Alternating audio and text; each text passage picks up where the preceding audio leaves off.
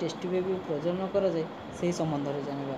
ଯେତେବେଳେ ସ୍ୱାମୀର ଶୁକ୍ରାଣୁ ପ୍ରକୃତି ପ୍ରାକୃତିକ ଭାବରେ ସ୍ତ୍ରୀର ଜରାୟୁ ମଧ୍ୟରେ ପ୍ରବେଶ କରିପାରେ ନାହିଁ ସେତେବେଳେ କୃତ୍ରିମ ଉପାୟରେ ସ୍ୱାମୀର ଶୁକ୍ରାଣୁକୁ ସ୍ତ୍ରୀ ଜରାୟୁ ମଧ୍ୟରେ ପ୍ରବେଶ କରିଦିଆଯାଏ।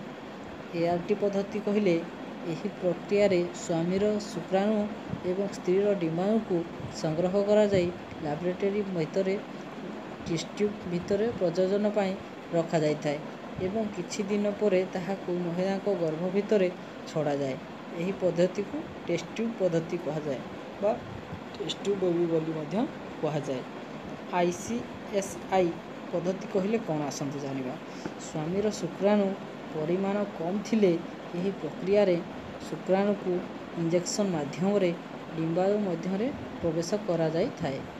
ରାଜ୍ୟର ରାଜଧାନୀ ଯଥା ଭୁବନେଶ୍ୱର ସ୍ଥିତ ଶହୀଦନଗରଠାରେ ମ୍ୟାଟର୍ନିଟି କେୟାର ହସ୍ପିଟାଲ ଏବଂ ଏକ ଆଧ୍ୟାତ୍ମିକ ଯନ୍ତ୍ରପାତି ଓ ଜ୍ଞାନକୌଶଳ ସମ୍ବଳିତ ସଂସ୍ଥା। ଏଠାରେ ଆଇଭିଏଫ୍ ଏବଂ ଆଇସିଏସ୍ଆଇ ପୁରୁଷଙ୍କ ଶୁକ୍ରାଣୁରେ ଜଡ଼ତା ଥାଏ କିମ୍ବା ଗର୍ଭନଳୀରେ ସମସ୍ୟା ଥାଏ। ବ୍ୟତୀତ ଆଇୟୁଇ ଏବଂ ଏଠାରେ ଗର୍ଭଧାରଣ ମଧ୍ୟରେ ଶୁକ୍ରାଣୁ ସଞ୍ଚାର ଇତ୍ୟାଦି କରାଯାଏ।